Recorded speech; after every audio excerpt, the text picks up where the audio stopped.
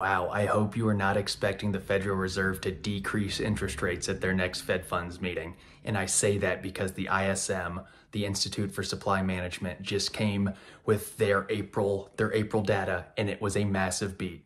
The market forecasted 48.3 and it came back. The numbers came in for the ISM at 50.3. So it was about a 2 percentage point beat for you guys at home, any number over 50 is actually in expansion territory. That's an expansionary number. This is the first time in 17 months that the ISM has been over 50 or again in that expansionary territory. That is that that is a headwind for you guys at home, um, hoping for those interest rate cuts because this is a number Jerome Powell and his friends there really look at hard.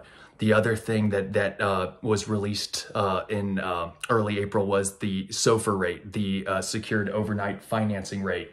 That right now is at 5.3%, and it is above its 90-day average. It's it's it's very close to its 90-day average, but it's slightly up. This is another huge number that the Fed looks at in terms of interest rates.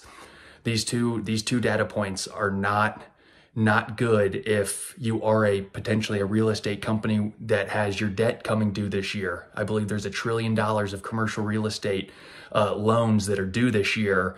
And based on those numbers, I don't know when the Fed's going to feel comfortable to start cutting, but they're not going to cut as as the SOFR's increasing and the ISM is increasing. It is that is that is very unprecedented to cut interest rates with those numbers going north. Historically, you would actually increase interest rates, um, if anything, because those are indicators that the economy is hot still.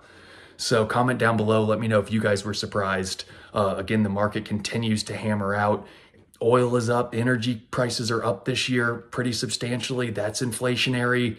Bitcoin's back to all time highs. Weirdly enough, gold's at all time highs. So almost anything speculative is at all time highs. It's almost like there's not even a downturn hedge. I mean, gold used to be considered a hedge now I don't know what you'd even call it. So again, I think the market's confused. Let's see where it's going. But um, again, hopefully you're not ho- you're not banking on the Fed cutting rates soon because I think there's going to be a long there's going to be a long ways to go.